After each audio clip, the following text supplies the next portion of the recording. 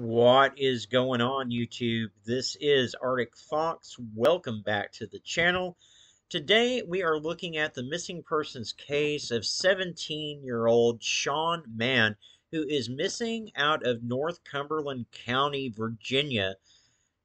Shaun is 6 foot 1, 225 pounds with hazel eyes and brown hair with a beard. The North Cumberland County Sheriff's Office is asking for your help in locating the 17 year old teenager who may be in need of medical assistance. Shaun was last seen at around 12:55 p.m. on August the 1st of 2022 in North Cumberland County, Virginia. He has a scar under his right eye and a beard. He does wear eyeglasses but may have contacts on he may be traveling in a black four door 2009 Toyota Corolla with Virginia tag number TWX6584. Anyone that has information on Shaun or his whereabouts is asked to contact the North Cumberland County Sheriff's Office at 804 580 5221.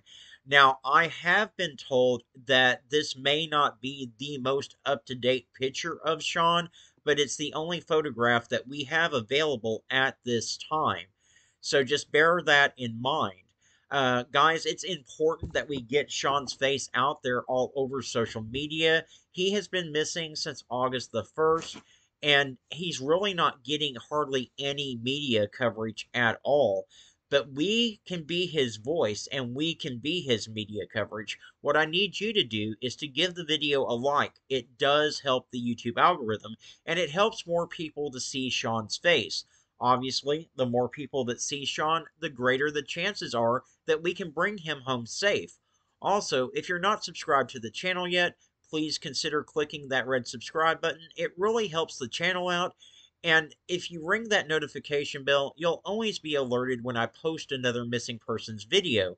But the most important thing that I need for you to do above anything else right now is to click that share button. Share this to your Facebook, your Twitter, your Instagram, wherever you have social media.